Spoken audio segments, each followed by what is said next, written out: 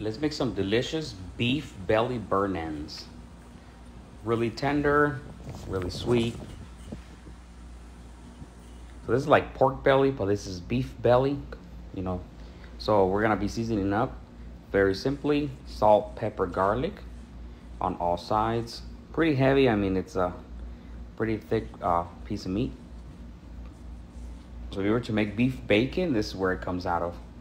You were to cure it, or even just smoke it and slice it, you could just uh, pan fry it. Gonna be uh, using the uh, Nexgrill smoker. We're gonna be running it at 275 degrees the whole time. Very simple recipe. We're gonna be smoking it for three hours and also got a drip tray on the bottom for easy cleanup. So three hours later, bark looks really good. So from there, we're just gonna slice it up. And there's tons of fat in this, of course. There's a beef belly.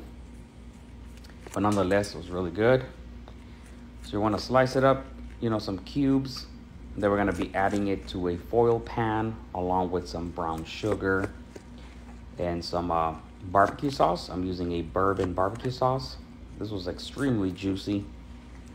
I did save that other uh, part of it that you see up there. I'm gonna be uh, slicing it thin and I will be making some uh, BLT sandwiches.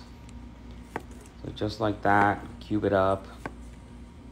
And to me, almost all the burn end recipes are the same. You know, smoke them at 275. Then you want to cube them, or you can cube them before season them. You know, that way you can season the everywhere, not just the outside like I'm doing here. So once cubed, place them in that foil pan. Uh, there was so much fat, so I did not use any butter, just barbecue sauce and some uh, honey granules. You can use brown sugar. Uh, from here, we're gonna cover it with foil very tightly. We're gonna be placing it back in the smoker to braise for three hours. This is gonna tenderize them even more. They're gonna fall apart really easily in your fingers. This is a bourbon barbecue sauce that I'm using. You can use whatever you like. You can make your own. And from here, probably about two tablespoons or so of honey granules.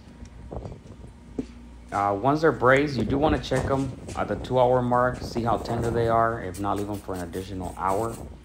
But after that, you want to uncover the uh, foil, remove it, and leave the burn ends uncovered in the smoker for an additional 30 minutes.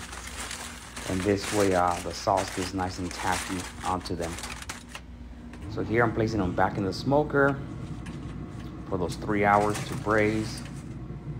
And after that, I'm gonna remove them, open up that foil, place them back in the smoker. I did toss them a little bit just like that, place them back in.